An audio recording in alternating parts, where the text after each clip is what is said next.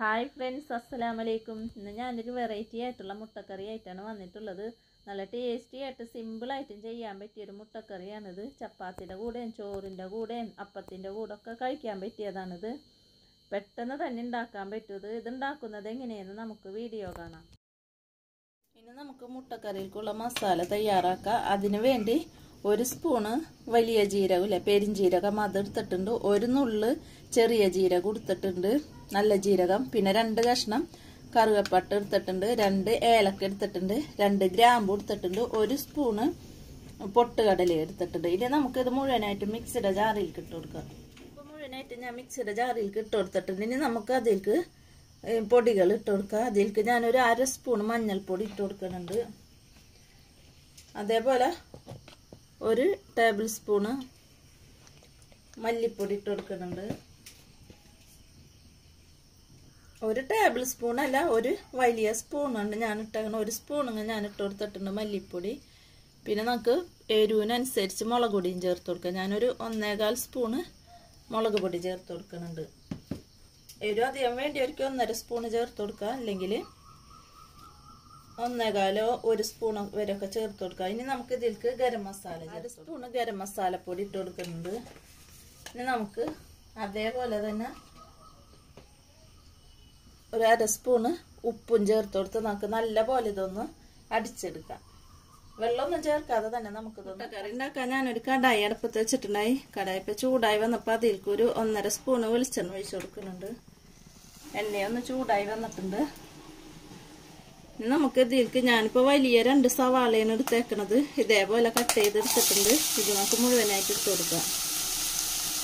അതോടൊപ്പം തന്നെ ഒരു സ്പൂണ് ഇഞ്ചി വെളുത്തുള്ളി ചതച്ചെടുത്തതാണ്. അതും കൂടിയും ചേർത്ത് കൊടുക്കുക. ഒരു സ്പൂണാണ് ഞാൻ എടുത്തേക്കുന്നത് രണ്ടും കൂടി.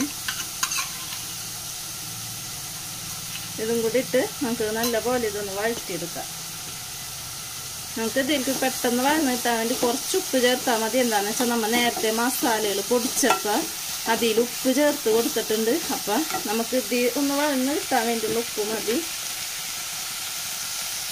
പിന്നെ ലാസ്റ്റ് നമുക്ക് നോക്കിയതിന് ശേഷം ഉപ്പ് ചേർത്ത് കൊടുത്താൽ മതി വേണമെങ്കിൽ ഞാൻ കുറച്ചിട്ട് കൊടുക്കുന്നുണ്ട്. നല്ലപോലെ നമുക്കിതൊന്ന് വഴറ്റിയെടുക്കാം. പിന്നെ എന്റെ ചാനൽ ഇതുവരെ കാണാത്തവരുണ്ടെങ്കിൽ കാണാം. സബ്സ്ക്രൈബ് ചെയ്യാത്തവർ സബ്സ്ക്രൈബ് ചെയ്യുക തൊട്ടടുത്തുള്ള ബെല്ലൈക്കണും കൂടെയും ക്ലിക്ക് ചെയ്യുമ്പോൾ ഓളെന്ന ഓപ്ഷൻ വരും. അതുമല്ലും കൂടെയും ക്ലിക്ക് ചെയ്യുമ്പോൾ ഞാനിടുന്ന എല്ലാ വീഡിയോസും നിങ്ങൾക്ക് നോട്ടിഫിക്കേഷനായി കിട്ടും. ഷെയർ ചെയ്യുക കമന്റ് ചെയ്യുക ഇഷ്ടപ്പെട്ട ലൈക്ക് ചെയ്യുക. നമുക്കിതൊന്ന് മൂടി വെച്ചൊന്ന് വഴറ്റിയെടുക്കാം. അപ്പോൾ പെട്ടെന്ന് വഴഞ്ഞു വന്നത്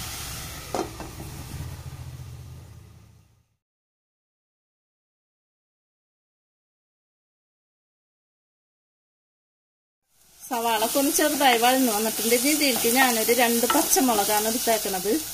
ഇതേപോലെ കട്ട് ചെയ്തിട്ടുണ്ട്. ഇനി അതും ചേർത്ത് കൊടുക്കുക കുറച്ച് കറിവേപ്പിലയും ചേർത്ത് കൊടുക്കുക ഇത് നല്ല പോലെ ഒന്ന് വഴറ്റിയെടുക്കാം. സവാളൊക്കെ ഒന്ന് നല്ല പോലെ വഴന്ന ബ്രൗൺ കളർ ആവണ വരെ ഒന്ന് നമുക്ക് വഴറ്റി കൊടുക്കുക സവാളൊക്കെ നല്ല പോലെ വഴന്ന് വന്നിട്ടുണ്ട്. ഇനി നമുക്ക് ഇതിലേക്ക് നേരത്തെ നമ്മൾ പൊടിച്ച് വെച്ചിട്ടില്ലേ ആ പൊടി മുഴുവനായിട്ട് ഇട്ട് കൊടുക്കുക ഇതിന്റെ ആ പച്ച ടേസ്റ്റ് മാറുന്ന വരെ നമുക്കിതൊന്ന് വഴറ്റി കൊടുക്കാം നമ്മ പെരിഞ്ചീരകവും പട്ടയും ഏലക്കായും ഗ്രാമ്പും ഒക്കെ നമ്മ പച്ചനെ വറക്കാതെ തന്നെയാണ് പൊടിച്ചെടുത്തേക്കണത്. അപ്പൊ അതിന്റെ പിന്നെ പൊടികളും ഇട്ടതല്ലേ അപ്പൊ അതിന്റെ ആ പച്ച ടേസ്റ്റ് മാറുന്ന വരെ നമുക്കൊന്ന് വഴറ്റി കൊടുക്കാം ഇപ്പൊ ലോ ഫ്ലെയിമിലാണ് വെച്ചേക്കണം എന്നിട്ട് വേണം വഴറ്റി കൊടുക്കാൻ അല്ലെങ്കിൽ പെട്ടെന്ന് കരിഞ്ഞു പോകുന്നത് പച്ച ടേസ്റ്റ് ഒക്കെ മാറി വന്നിട്ടുണ്ട്. ഇനി ഇതിലേക്ക് ഞാൻ ഒരു തക്കാളിയാണ് എടുത്താക്കുന്നത് ഇതേപോലെ ചെറുതായി കട്ട് ചെയ്തതാണ്. ഒരു വലിയ തക്കാളിയാണ് ഞാൻ എടുത്താക്കുന്നത് ഇനി തക്കാളിയും നല്ല പോലെ നമുക്കൊന്ന് സോഫ്റ്റായി വരഞ്ഞിട്ടൊന്ന് വഴറ്റിയെടുക്കാം. ഹൈ ഫ്ലെയിമിലൊന്നും വെക്കരുതെന്നാണ് ചപ്പൊടികളൊക്കെ കരിഞ്ഞു പോവും. അപ്പോൾ തക്കാളി വരുന്ന വരുന്ന വരുന്ന. വെയിറ്റ് ചെയ്യാം. ഒന്ന് മൂടി വെച്ച് കൊടുക്കാം നമുക്ക്.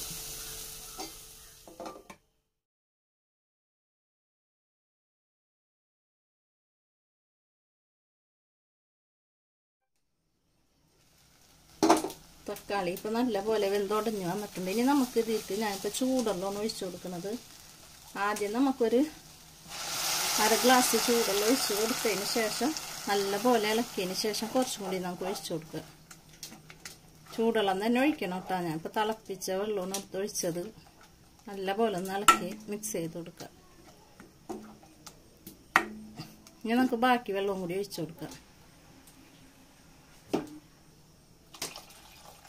ഇതേപോലെ അര ഗ്ലാസ്സും കൂടി ഞാൻ ചൂടുള്ള ഒഴിച്ചു ഇനി നല്ലപോലെ ഒന്ന് തിളപ്പിച്ചെടുക്കാം നമുക്ക്.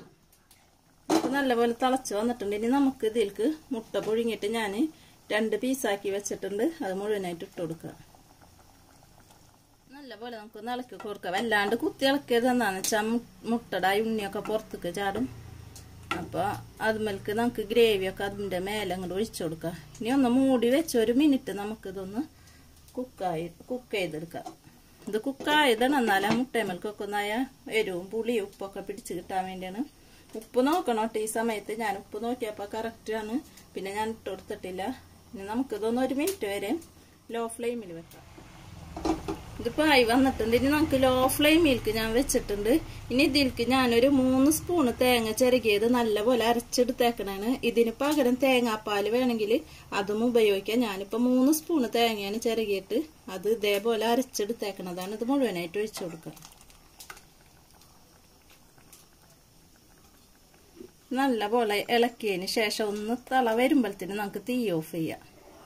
അല്ലെ പിരിഞ്ഞു പോകും. വല്ലാണ്ടിട്ട് തിളപ്പിച്ചാൽ കറി പിരിഞ്ഞു പോവും അപ്പോൾ ഒന്ന് തള വരുമ്പോഴത്തേന് നമുക്ക് ഓഫ് ചെയ്യാം. ഞാനിപ്പോൾ തീ ഓഫ് ചെയ്തിട്ടുണ്ട്. ഒന്ന് തള വന്നപ്പോഴത്തേന് തീ ഓഫ് ചെയ്തിട്ടുണ്ട്. അപ്പോൾ ഇവിടെ മുട്ടക്കറി ഇപ്പോൾ ഇവിടെ റെഡിയായി വന്നിട്ടുണ്ട്. ഇനി നമുക്ക് ഇതിലേക്ക് കുറച്ച് കറിവേപ്പിലയും കൂടിയും ചേർത്ത് കൊടുക്കാം. മല്ലിയില ഉണ്ടെങ്കിൽ അത് ചേർത്ത് കൊടുക്കാം. എന്റെ കെലിപ്പില്ലാത്ത കാരണം ഞാൻ കറിവേപ്പില ഇട്ട് കൊടുത്തേക്കണത്. ഇതിപ്പോൾ നല്ല ടേസ്റ്റി ആയിട്ടുള്ള സിമ്പിളായിട്ട് ചെയ്യാൻ പറ്റിയ മുട്ടക്കറി ഇവിടെ റെഡിയായി വന്നിട്ടുണ്ട്. എല്ലാവരും ഇതേപോലെ ഒന്ന് ട്രൈ ചെയ്ത് നോക്കാം. നമുക്കിനി പുതിയ വീഡിയോകൾ കാണുന്നത് വരെ. Okay bye